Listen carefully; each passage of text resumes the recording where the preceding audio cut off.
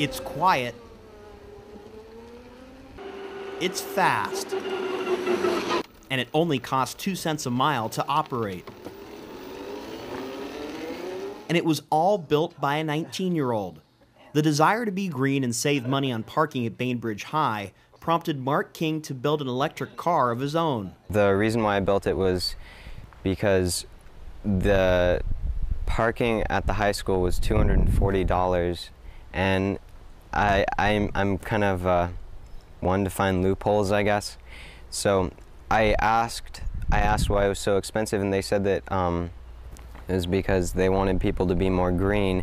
They wanted people to carpool and I thought, you know, how environmental and how green can I be? So I went home and, and I had thought about it junior year, so I went home and just started with the frame and I built up from that. I, um, I didn't know what I was doing, but I knew I could do it. I knew I would get there. Built from scratch, the car's construction follows only the blueprints that appeared in his mind. The project took Mark nine months to build and cost around $2,400. He says building the car opens his eyes to the possibilities of electric cars on the open market and hopes more people will go green and build a car of their own. I'm one that finishes things. So I I didn't want to give up through that nine months. I would work on it every night almost, and um, just coming in with aching backs and uh, and whatnot. This is not the young inventor's first project. He also built an electric skateboard, a hybrid gas-electric motorcycle, even a steel-framed helicopter. And what's next for Mark? Well, yet another electric car. I'm doing this because no one else is doing it.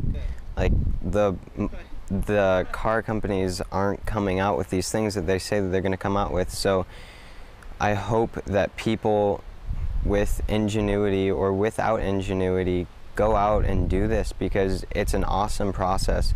The amount that I've learned is ridiculous. I mean, uh, it's it's a lot more worth it than buying a car. I really hope that someone, someone else from BHS or from somewhere else on the island goes out and does this.